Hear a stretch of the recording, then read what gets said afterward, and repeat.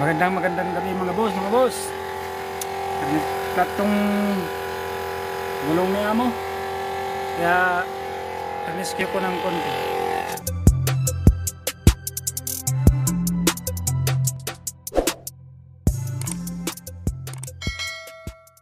Ayan o. Compressor na maliit. Buti meron. Ito sa sinasaksak lang dito yan. 12 volts na compressor. Para pang emergency ba?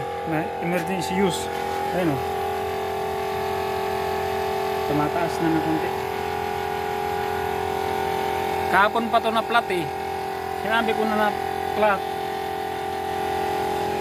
binumbahan niya lang siguro. Tapos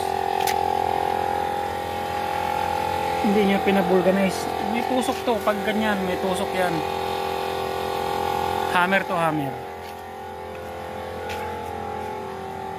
H2 Yan, si James.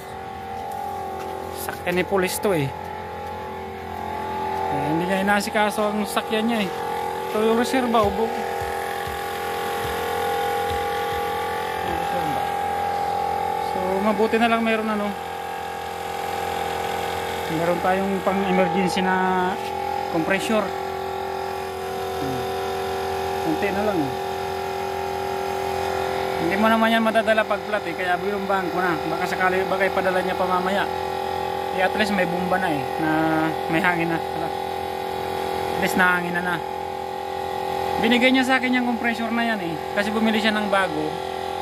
Eh, sa kanya naman palagi ang napaplat kasi luma na siguro tong gulong niya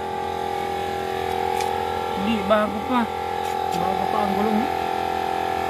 Hindi makikita. Hmm, bago pa. Oh. Ayan oh. Bago pa ang gulong niya eh, kaya lang flat lang oh. oh. Bago pa yan eh. Kaya lang, may tusok yan pagka ganyan. So ayan, malapit na. Hindi na to gumagana, sira na tong PSI niya dito. Nabasa ka ng salamin.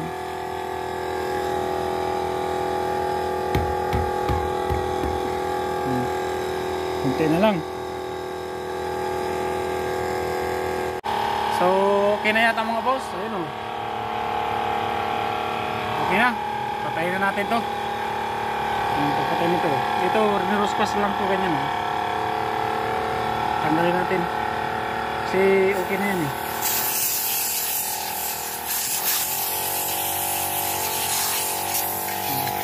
Nangin oh.